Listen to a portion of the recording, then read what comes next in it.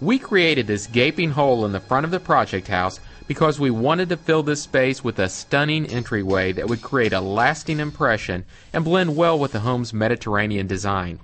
We went with a steel, glass, and wrought iron door from Solara. When it came to choosing the front entryway for our project house, we needed to consider the same three things you need to consider for your own home. It comes down to curb appeal, energy efficiency, and security. As far as curb appeal, the front entryway needs to be proportional to the size of the home. We have a very large home here, so we have a very large entryway that was built for us by Solara. Nothing looks worse than to have a big home with a really small, squat little door. On this home, we also went with the intricate pattern to add more appeal to it. We, we didn't want just a flat door or a six panel door. We wanted some design on this home to really make it pop when you first walk up. Besides seeing it from the curb, this is the first place that all your guests are going to walk through. So this is where you make that big impression. We also needed to think about security. We went with a solid steel door. Solara makes all of them out of steel, so it's going to be hard to get through this door. Plus, we went with a tight pattern. That way, if anyone comes up and breaks out the glass, they can't fit inside the door. There's nowhere in this pattern, below or above, where a human could actually fit through and get inside the home. The last thing we needed to consider was energy efficiency. We have steel, and steel does conduct hot and cold, so we needed to do something special. In between the panels of door, it's all filled with foam. That's going to make it very energy efficient.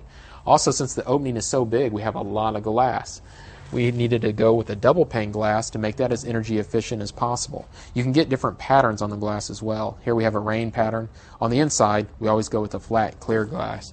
On our project house, we have a Flemish pattern on it, and we're clear on the inside. But again, what's important is it's double pane to make it more energy efficient. By taking our time to select the right door, we got curb appeal, we have security, and we have a very energy efficient entryway. The door's frame is steel, and the decorative panels are hand forged wrought iron. Melina Gutierrez is Solara's marketing director. We normally use a 5 8 inch square wrought iron. It's all hand forged on the design area. That's what allows the greatest creativity in our doors. We can do from very simple designs uh, to very ornate. This one's going more towards the ornate design, so there's lots of more scroll work and curves around it. But again, that depends on what the homeowner, the architect, and everybody want to accomplish in order to achieve the look that they're looking for. She says there are several advantages to using steel doors for monumental entryways. On the steel doors, lots of advantages over the wood. Um, first of all, it's sturdy, very strong, so you don't have any height limitations on it. On this unit, we did a 15 foot unit. It's about six feet wide. Another advantage with the steel is it's very low maintenance. You don't have to worry about repainting continuously like you would on a wood door. The installation of a steel and glass door takes place in two stages. First, the steel. The crew sets the door's outer frame in place. Then the door frame is secured to the house frame by these mounting brackets that extend from the hinges. The crew chisels out the drywall so that the bracket will set flush against the wood studs that frame the entryway. Then the crew secures the steel door frame to the house frame with heavy duty screws. The doors are then prepared for mounting.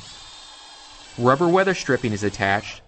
Then the doors are lifted onto the hinges.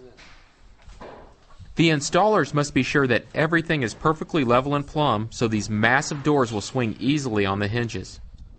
Once the doors are installed, it's time to raise the transom. The crew uses a manual forklift. And once the transom is in place, it's secured to the frame of the house the same way the door was installed. Then the two sections are spot welded together. This is the last step in the first phase of installation.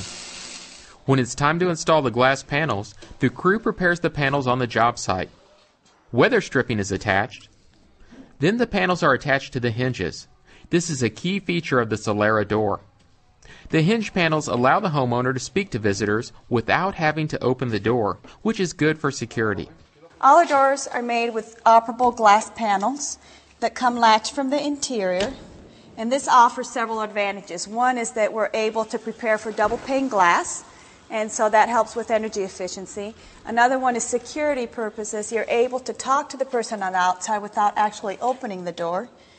And then the best one is for ease and cleaning. You're able just to open and clean it without having to clean from the outside around your ironwork. Gas lanterns also add a touch of distinction to the entryway of any home, and we're installing Solara lanterns at the entryway of the project house. These lanterns are designed to turn on and off automatically. Our lanterns are unique because it has electronic ignition setup.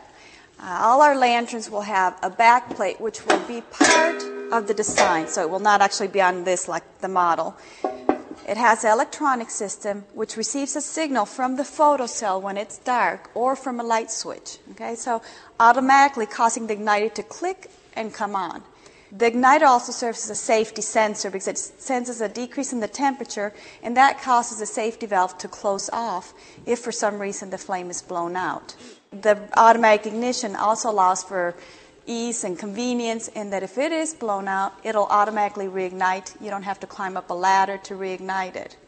For more information about Solara's distinctive line of doors and lanterns, visit them on the internet at solara.tv.